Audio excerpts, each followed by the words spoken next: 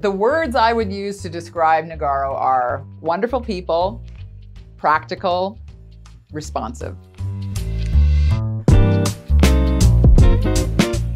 My name's Lea Volpe, and I'm the Vice President of Communications and Community Relations for JM Huber Corporation. JM Huber Corporation is a global family owned manufacturing company, now in its sixth generation of family ownership, that is a portfolio management business. We own multiple companies CP Kelco, Huber Engineered Materials, Huber Engineered Woods, and Huber Resources Corp. The companies that we own produce a variety of niche products that are sold in multiple industries in countries all around the world. In 2019, JM Huber Corporation made a strategic decision to invest in the company's digital evolution.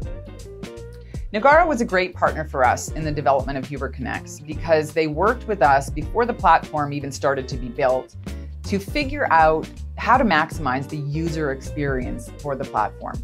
What design did we need? What functionality did we need? How could we train and bring our people on board to use the platform the way that would enhance their experience the most? What kind of thinking did we need to do around change management? How could we introduce the platform and communicate with our employees in a way that took them from what we had before to what we had now? And how would we implement that change throughout the organization. All of that change management discussion happened long before the actual build of the Huber Connects platform happened, which I think is why the actual launch and development of it was such an incredible success. Our success criteria for Huber Connects were that it would help to empower a new generation of workers to access information and the tools that they needed to do their jobs faster and easier than they were able to do in the past. So, a project of this size and duration and complexity is never without challenges. I think what really helped was the fact that both the Nagarro team and members of the Huber Corporation treated each other with respect and caring, which are values that are both of our organizations have that are quite similar.